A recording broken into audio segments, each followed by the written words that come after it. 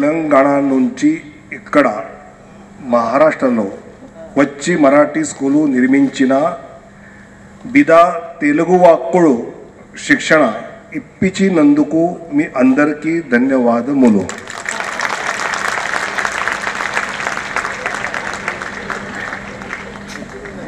అదేవిధంగా ఈరోజు వినాయకుని జయంతి శ్రీ మార్కండేయ మరియు జయంతి వలన అందరికీ శుభాకాంక్షలు. आता मला पद्मशाली शिक्षण संस्थेवर घ्यायला हरकत नाही.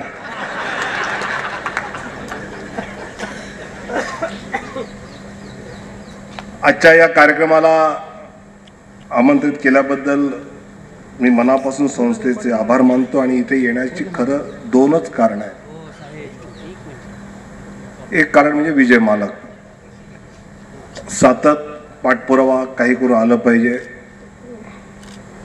आणि त्याचबरोबर दुसरं कारण असं आहे की अनेक संस्था अशा असतात की ज्या हुशार घरातल्या मुलांना श्रीमंत घरातल्या मुलांना आपल्या शाळेत प्रवेश देतात आणि त्यांना शिकवतात आणि त्यांना नव्वद टक्के मिळवतात. ह्यात काही कौतुक नाही. गरीब घरातल्या विडी कामगारांच्या घरातल्या मुलांना शिक्षण देण्याचं काम ज्या संस्थेत जा- चालतं त्या संस्थेत गेलं पाहिजे. कारण शेवटी हे शिक्षण बहुजन समाजातल्या तळागाळातल्या गरीब कुटुंबापर्यंत पोचणं हे खरी गरज आहे. आणि ते काम पद्मशाली शिक्षण संस्थेच्या मार्फत चालतं आणि त्यासाठी मी आवर्जून आपल्या सगळ्यांचं अभिनंदन करायला या ठिकाणी उपस्थित आहे. आणि खरंच मगाशी उल्लेख केला तसं आपले माजी विद्यार्थी कोणी दुबईमध्ये आहे कुमार बडीगंटीत अमेरिकेमध्ये आहे. डॉक्टर किरण आडाम तर रशियात मेडिकलचं शिक्षण घेऊन आलाय. म्हणजे अमेरिका दुबई रशिया इथे तर आहेतच. आणि समजा कोणाला गरज पडली तर उमेश पवार येरवडा जेलचा अधीक्षक पण आहे. गरज पडणार नाही. पडूही नाही. पण या समाजाचे विद्या या संस्थेचे विद्यार्थी सर्वदूर आहेत. हे फक्त यातून लक्षात आलं इतकंच. मी मनापासून मगाशी नरसय्या आडम सरांचं भाषण ऐकत होतो. आणि त्यांनी म्हटलं हे खरं आहे की शिक्षणामध्ये देशाची स्थिती ही त्यांनी म्हटलेलं वास्तव आहे. पण गेल्या चार पाच वर्षात महाराष्ट्रात आपला क्रमांक सोळावर होता देशात. तो क्रमांक तीनवर आपण आता आलो आहोत. महाराष्ट्राची प्रगती चांगली आहे आडमसाहेब तुम्ही म्हणला ते खरं आहे. पण चांगली पुरेशी नाही आहे. कारण आपल्याला अजून गती घ्यायची सगळ्या देशभरातल्या राज्यांच्या तुलनेमध्ये महाराष्ट्राची प्रगती क्रमांक एकची आहे. म्हणजे हे जे टक्केवारी तुम्ही सत्तेचाळीस सांगितली ती गेल्यावेळी सत्याहत्तर होती. त्यातले वीस टक्के आता वाचायला लागले. अशी बरीच प्रगती आहे. पण तरीसुद्धा राहिलेच आहेत ना. आणि त्यामुळे या सगळ्या शिक्षणामध्ये महाराष्ट्र हा छत्रपती शिवाजी महाराज शाहू फुले आंबेडकरांचा महाराष्ट्र केवळ क्रमांक एक वर आणण्यात पॉईंट नाही. तर शंभर टक्के मुले शिक्षित झाली पाहिजेत. हा उद्देश समोर ठेवून गेली साडेचार पाच वर्ष आम्ही काम करतो आणि याच पद्धतीने पुढेही काम करणं गरजेचं आहे. कारण शेवटी मला वाटतं की ज्यावेळी मी शिक्षण मंत्री झालो मी काही फार शिक्षणामध्ये खूप मोठे बदल नाही केले. छोटे छोटे बारीक बारीक बदल केले. म्हणजे काय केलं? तर मी ऑक्टोबर चौदाला शपथ घेतली मार्च पंधराला दहावीची परीक्षा झाली. जूनला निकाल लागला. आता निकाल लागला की विजय मालक प्रणतीताई हे काय करतात की ज्याला पंच्याण्णव टक्के अठ्ठ्याण्णव टक्के मिळाला त्याचा सत्कार करतात त्याला बुके देतात त्याचं कौतुक करतात. पण मी महाराष्ट्रातला पहिला शिक्षण मंत्री असेल जो चौदा नापास झालेल्या मुलांच्या घरी गेलो. आणि का नापास झाला? काय नापास व्हायचं कारण आहे ते समजून घ्यायचा प्रयत्न केला. म्हणजे मला तर दहावीची परीक्षा नापास होणं हे अवघड असंच असं माझं मत आहे. मी दोन मुलं तर इतकी बिचारी साधी प्रामाणिक होती. ते म्हणले सर खरं सांगू? म्हटलं सांग खरं. नक्की सांगू सांग. गणिताचा पेपर वाचायला लावलो की चक्कर येते म्हणला आता गणितात नापास म्हणजे काय? आयुष्यात नापास आहे. मी गणित सोडून दुसरा विषय घेता येतो. मॅट्रिकला हे होतं अकरावी मॅट्रिक असताना. मी असा विचार बोलून दाखवला की गणिताला ऑप्शन द्यायचा. जे बोलल्या बोलल्या गणिताच्या शिक्षकांचे मोर्चे सुरू झाले. नाही नाहीच त्याला गणित जमत त्याला दुसरा विषय जमतो तर त्याच्या पण त्याचं शिक्षण त्याला देऊया. एक मुलगी मला म्हणली सर माझी आई केईएममध्ये आयसीयू ला होती. लेडीज वॉर्डमध्ये मला तिच्यावर थांबावं लागलं. भावाला थांबू दिलं नाही. आणि सकाळी मग मी तिथूनच आली घरी पटकन आवरून पेपरला गेली. मला काही पेपर लिहायला फार जमलं नाही. आता आईची सेवा केली. म्हणून ती नापास झाली आणि मग तिची पुढची परीक्षा ऑक्टोबरमध्ये म्हणजे एक वर्ष वाया जाणार. आईच्या सेवेसाठी एक वर्ष का वाया गेलं पाहिजे? असा मी विचार करत होतो मी मंत्रालयामध्ये आलो अधिकाऱ्यांना बोलवलं म्हटलं मार्चची परीक्षा जूनला निकाल लागतो. मग नंतर ऑक्टोबरला परीक्षा का? आपल्याला एक सप्टेंबरपर्यंत ऍडमिशन करायची परवानगी आहे. मग आपण फेर परीक्षा जुलैमध्ये घेऊन ऑगस्टमध्ये निकाल का नाही आणू शकत? अधिकाऱ्यांनी विरोध केला. साहेब हे कधीच झालं नाही. गेल्या इतके महाराष्ट्र झाल्यापासून कुठल्या शिक्षण मंत्र्यांनी असं विचित्र डोकं वापरलंच नाही. म्हटलं मी विचित्रच आहे. आणि भरपूर वाद झाला चर्चा झाली शेवटी ठरलं की जून मध्ये निकाल लागून जी दहा टक्के मुलं नापास झाली आहेत त्यांची दहा जुलैला परीक्षा घेतली सोळा ऑगस्टला निकाल लागला पस्तीस हजार सहाशे पासष्ट मुलं पास झाली. मी इतका खुश झालो आपण मुलांचं वर्ष वाचवलं. मला विजय मालक त्यावेळेच्या मुंबई पोलीस आयुक्त राकेश मारी यांचा फोन आला. मैंने साहेब आपल्या बच्चों की जिंदगी बचाई। आयुष्य कुठे हो? वर्ष नाही म्हणले हे नापास झाले की दोन महिने लाजे खातर घरात बसतात घरात टोमणे खातात आई वडिलांची बघ तो चालला शाळेमध्ये तू घरात बसा अभ्यास करत नाही. मग घरात कंटाळून तो नाक्यावर जातो नाक्यावरच्या मुलांबरोबर त्यांच्या सवयी बरोबर बियर सिगरेट प्यायला लागतो आणि बियर सिगरेटला पैसे पाहिजेत म्हणून चेन स्नॅचिंग गँगचा इन्फॉर्मर होतो आणि गुन्हेगारी जगतात प्रवेश करतो. गुन्हेगारी जगतात जाण्यापासून तुम्ही वाचवला. छोटासा निर्णय.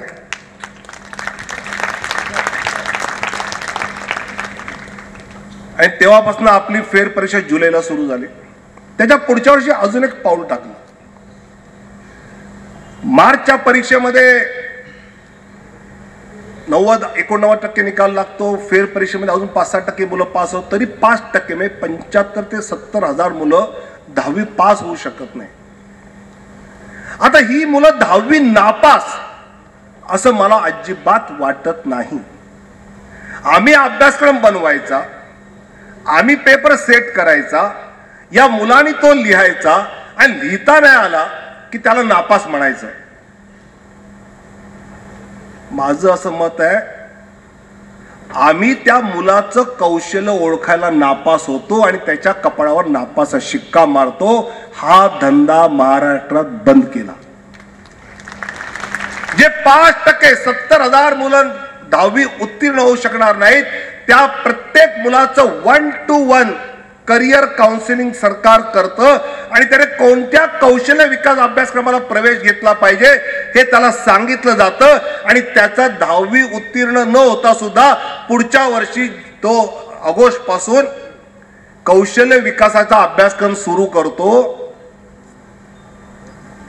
आणि यामुळे महाराष्ट्र हे देशातलं एकमेव राज्य आहे की ज्याच्या दहावीच्या गुणपत्रिकेवर दहावी उत्तीर्ण आणि दहावी एलिजिबल फॉर स्किल डेव्हलपमेंट कौशल्य विकास हे दोनच शेरे येतात. आपल्या राज्यात नापास शेरा हद्दपार करून टाकल्या आपण. कोणी मूल नापासच होऊ शकत नाही.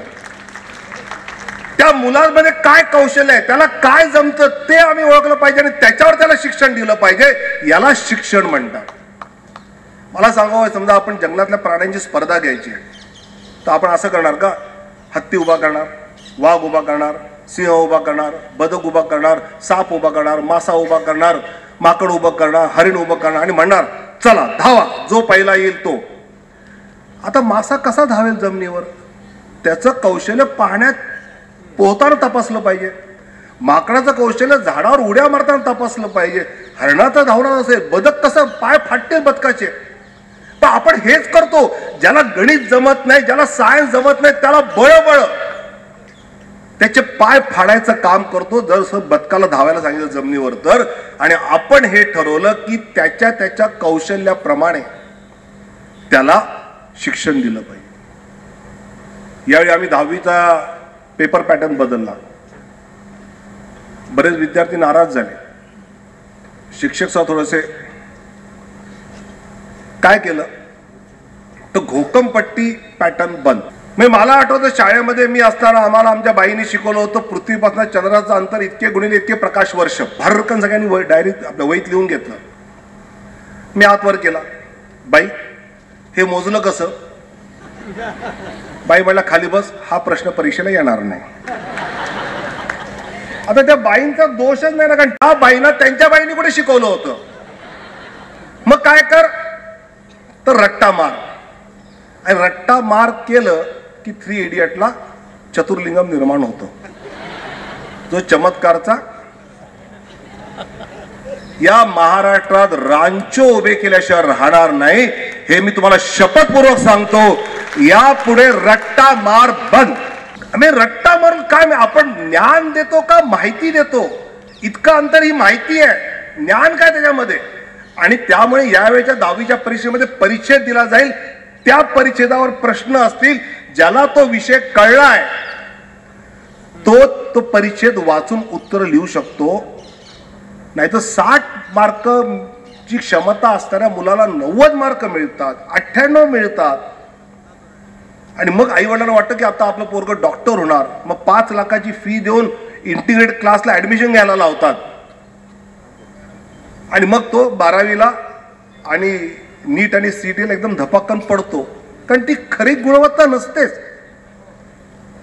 आणि म्हणून मला असं वाटतं की कुठेतरी आपल्याला मार्कांच्या स्पर्धेच्या पलीकडे गेलं पाहिजे. आपण मार्कांच्या रॅट्रेसमध्ये लागता कामा नये. त्या मुलाचं काय कौशल्य आहे? त्या मुलीचं काय कौशल्य आहे?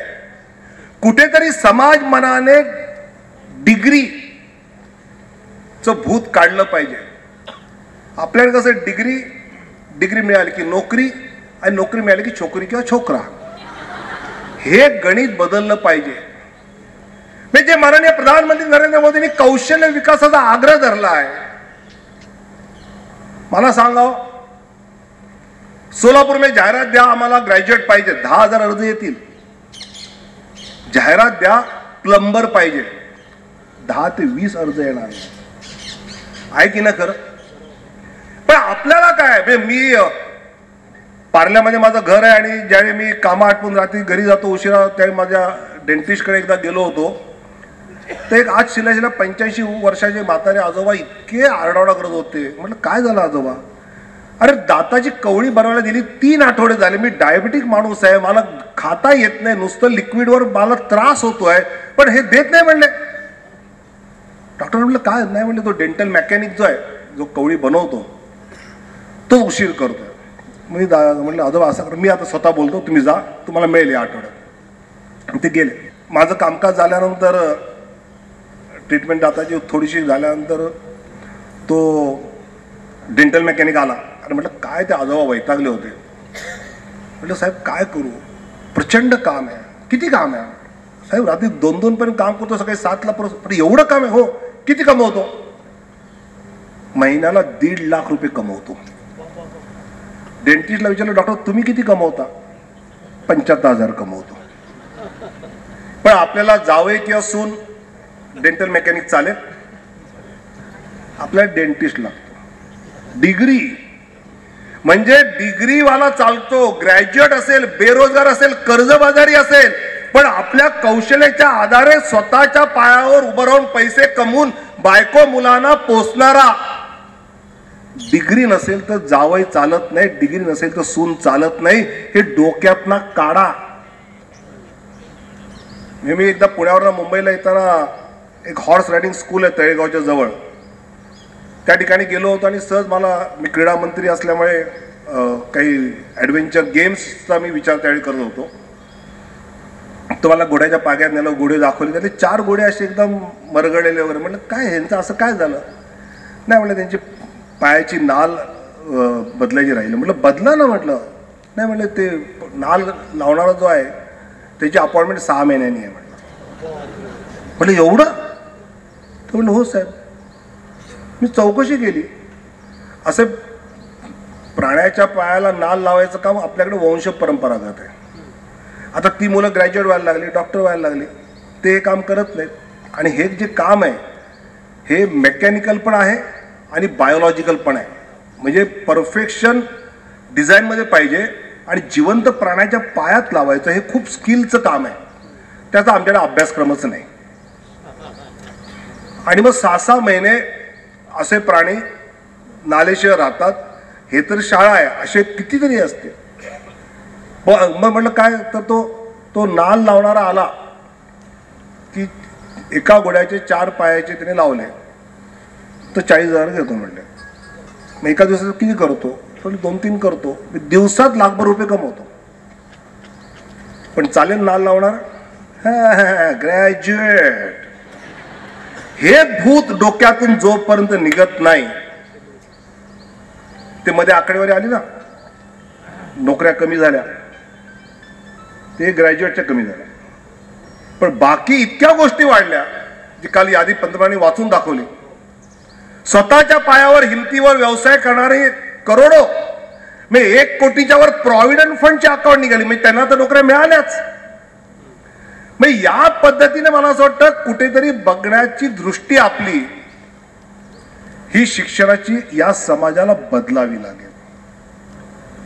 असे बारीक बारीकमध्ये तरी एक आम्ही निर्णय केला की बऱ्याच इंग्रजी शाळा वाढतात आणि मराठी शाळा धोक्यात येत आहेत आम्ही प्रगत शैक्षणिक महाराष्ट्र कार्यक्रम राबवला. आणि आडम मास्तर तुम्हाला आनंद वाटेल गेल्या तीन वर्षात. इंग्रजी माध्यमाच्या शाळेतून मराठी माध्यमाच्या जिल्हा परिषद शाळेमध्ये चौतीस हजार विद्यार्थी आले. चौतीस हजार विद्यार्थी इंग्रजी शाळा सोडून मराठी शाळा. जुन्नर तालुक्यात एका वर्षी बाराशे आले. मी त्या तालुक्यात गेलो. तिथे इंग्रजी शाळेतनं आलेल्या मुलांच्या पालकांची सभा घेतली. आणि त्यांच्यावर गप्पा मारल्या. काय झालं? कशामुळे तुम्ही बदलली? ते एक पालक म्हणला की माझा मुलगा ज्या वर्गात त्याच वर्गात शेजारचा मुलगा जो जिल्हा परिषद जातो माझा पोरगा इंग्लिश शाळेमध्ये होता मी त्या झेडपी शाळेत जाऊन पाहत होतो की शिक्षक कसे शिकवतात. तर त्या शिक्षकाने आमचा प्रगत शैक्षणिक महाराष्ट्राचा ऍक्टिव्हिटी बेस्ड लर्निंगचा कार्यक्रम राबवत होता. त्याने बेरीज वजाबाकी शिकवताना त्याच्या टेबलवर पु- पुठ्ठ्याचा राक्षस ठेवला. त्या समोर एका भांड्यात गोट्या ठेवल्या. एका मुलाला म्हटलं तू इकडे ये. या भांड्यातनं सात गोट्या काढ.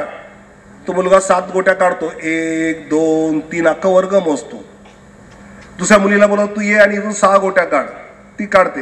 एक दोन तीन सहा सगळा वर्ग मोजतो.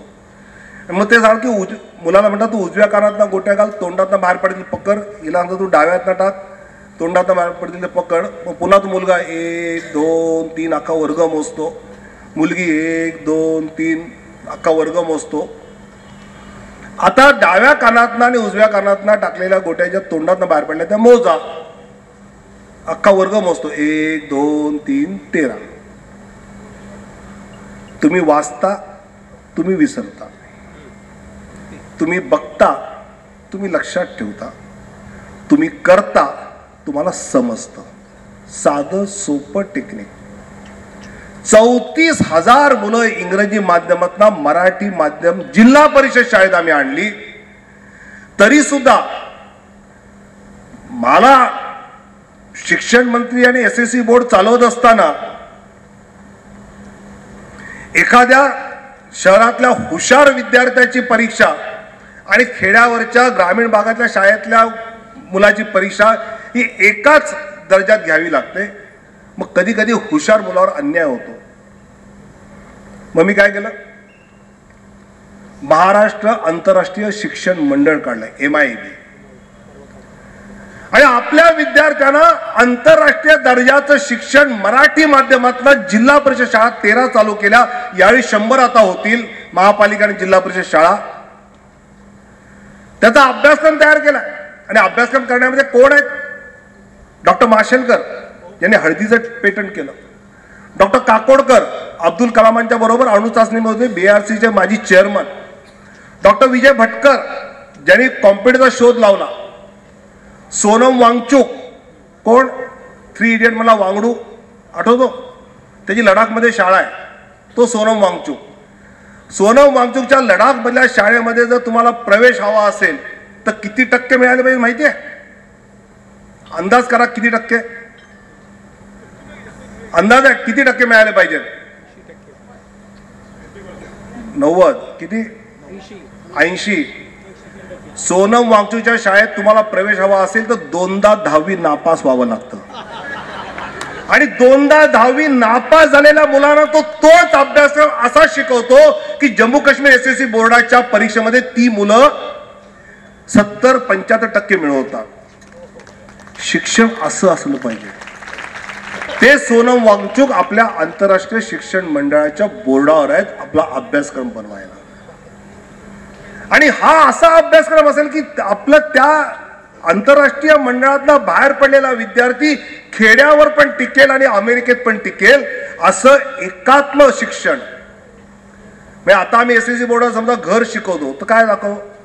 शहरातलं घर खेड्यातलं घर.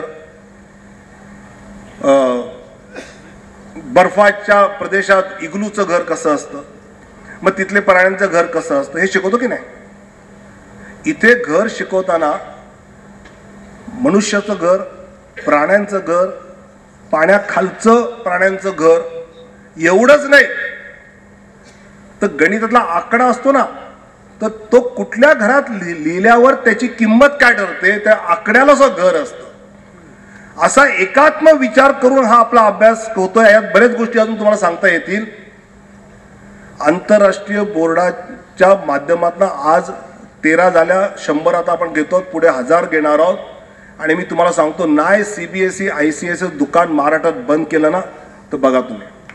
विद्यार्थी आपल्याच बोर्डात येतील. आणि इंग्रजीची गरज नाही. आम्ही काही इंग्रजी विरोधी नाही. English is a language of employability English आलं पाहिजे. पण मातृभाषा म्हणजे मराठी हे डोळे आहेत आणि इंग्रजी हा चष्मा आहे. नीट वाचायला चष्मा लागतो. पण मूळ दिसायला डोळे लागतात आणि ते जर मातृभाषेतनं नाही दिलं तर विद्यार्थी नासामध्ये जाईल. हुशार होईल. त्याचा आयक्यू वाढेल. पण इमोशनल क्वेश्चन जो भा- भावनिक जो अंक वाढला पाहिजे तो जर नाही वाढला तर पोरग अमेरिकेमध्ये आणि आईबाप मात्र वृद्धाश्रमात जातील ही अवस्था यायची नसेल तर हे केलं. ह्याच्या पुढे अजून एक पाऊल गेलो आपण. मला अनेक खेळाडू भेटायचे. साहेब आम्ही चांगले खेळतो मग परीक्षा त्याच तारखेला येतात. मग खेळ बुडवावा लागतो कारण स्पर्धा त्याच वेळी असतात. काही संगीतामध्ये गाण्यामध्ये रियाज करणारी मुलं आली. बरोबर म्हणजे आमच्या आंतरराष्ट्रीय स्पर्धा असताना परिषदा असतात मग ते देता येत नाही. काही दिव्यांग मुलांचे पालक आले मुलाला शिकवायचं पण रोज शाळेत नेता येत नाही. मग आम्ही जानेवारीपासून एस एस सीचं ओपन बोर्ड चालू केलं. ज्या विद्यार्थ्याला खेळायचं आहे त्याने दहा तास रोज मैदानात खेळावं. रोज शाळेत जायची गरज नाही. त्याला शिक्षणासाठी मदत हवी असेल तर काही सेंटर्स आम्ही उभी केली जातील. आठवड्यातनं एकदा जा. महिन्यात दोन चार वेळा जा. तू स्वतःहून शिक चांगला खेळ. दहा वर्षाचा झाला की पाचवीची परीक्षा द्यायची तेराचा झाला की आठवीची द्यायची पंधराचा झाला की दहावीची द्यायची. आणि या दहावीचा निकाल हा S S C I C S C C B S सीच्या समान मानला जाईल. या देशामध्ये चांगले खेळाडू महाराष्ट्र देईल. आणि महाराष्ट्र खेळेल तर राष्ट्र जिंकेल. खेलो इंडियामध्ये आपण क्रमांक एकवर आलो. त्यामुळे खेळाडू असेल कलाकार असेल दिव्यांग असेल असे बारीक बारीक निर्णय. आणि अशा या चांगल्या बारीक निर्णयामुळे प्रणतीताई अच्छे दिन आलेले आहेत. मी लहानपणी मी खेळायला जायचो. खेळायला गेलो की वडील म्हणायचे अरे खेळून काय मार्क वाढतात काय? मी क्रीडामध्ये झाल्यावर ठरवलं खेळून मार्क वाढवले पाहिजेत. आणि आम्ही निर्णय घेतला. जे शालेय स्तरावर जिल्हा स्तरावर खेळतील त्यांना तीन मार्क. विभागावर खेळतील त्यांना पाच मार्क. राज्यावर खेळतील त्यांना दहा मार्क. राष्ट्रीय स्तरावर जातील त्यांना वीस मार्क देण्याचं काम आम्ही सुरू केलं आहे आता जर तुम्हा मुलांना कोणी म्हणलं ना घरी खेळून मार्क वाढत नाही सांगायचं विनोद काका बोलले. खेळून मार्क वाढतात. खेळून पोट भरत नाही. हे दुसरं घर वडिलांकडे ऐकायचं. आम्ही निर्णय घेतला राज्य राष्ट्रीय स्तरावर खेळणाऱ्या क्रीडापटूंसाठी नोकरीमध्ये पाच टक्के आरक्षण आणि आंतरराष्ट्रीय स्तरावर खेळणाऱ्या विद्यार्थ्या क्रीडापटूंसाठी थेट शासकीय नोकरी बासष्ट थेट नोकऱ्या आम्ही गेल्या महिन्यात दिल्या. खेळून पोट भरतं.